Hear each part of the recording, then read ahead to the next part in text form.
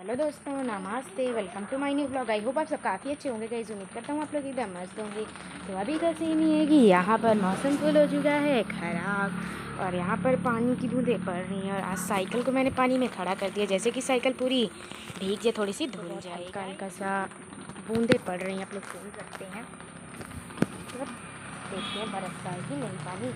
और जैसे अभी तक मैं सिर्फ़ वही पढ़ाई कर रहा था क्योंकि है कल मैथ का एग्ज़ाम जो कि मैंने पूरा रिवाइज चुका है बारिश तो गैस बारिश थोड़ा सा तेज़ है। देखिए, अभी बहुत तेज़ से बारिश हुई थी और साइकिल भी अपनी बेच चुकी है। मैंने उसको यहाँ पर ला के खड़ा कर दिया। जैसे ही थोड़ी तेज़ बारिश हुई, क्योंकि गैस भीगने से मम्मी ने कहा, मुर्चा लग जाएगा। तो इसलिए मैंने यहाँ पर ला के खड़ा कर दिया वहाँ से यहाँ पर। और भी काफ़ी ज़्यादा तेज़ बारिश हुई थी। आप लोग देख सकते हैं। यहाँ पर पूरा भर चुका है वहाँ पर पूरा निकल रहा है। वहाँ पर भी भर के लेकिन धीरे धीरे पूरे गढ़े में चला जाएगा। और यहाँ पर पापा चाय भी पी रहे हैं। पी रहे हैं। और मैंने भी चाय गई एक लोग का एक्सीडेंट हो चुका है। यहाँ पर ये गिरी करी गई। बारिश में ऐसा होता है।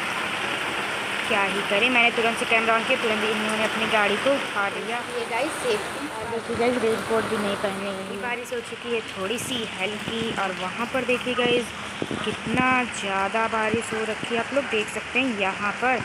और पूरा ये पूरा भर चुका है और बूंदे अभी भी गिर रही हैं आप लोग देख सकते हैं।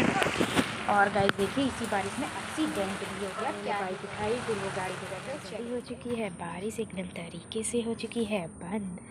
और गाइस मौसम में कुछ भी बदलाव नहीं है। मौसम इधर से ख़राब है लेकिन इधर से थोड़ा बहुत सा सफ़ा हो चुका है। लेकिन अभी धूप नहीं आई है ना पापा धूप नहीं आई है ना यस गाइस अभी धूप नहीं और गाइस देखिए अभी तक तो ठीक ही था। अब देखिए कितना ज़्यादा फुल तेज़ मौसम ख़राब हो रखा है। आप लोग देख सकते हैं। और दीदी आप क्या कह रही हैं? दीदी आप क्या कह रही हैं कि बारिश नहीं होगी? नहीं हो भी सकती है इस बारिश। नहीं भी हो सकती क्योंकि गैस हमारे चाय भी करेगा इस तो फ़िलहाल मैं उसका कंड करता हूँ। अगर आप लोगों को पसंद आए तो लाइक कर देना। चैनल पर नहीं तो सब्सक्राइब कर देना।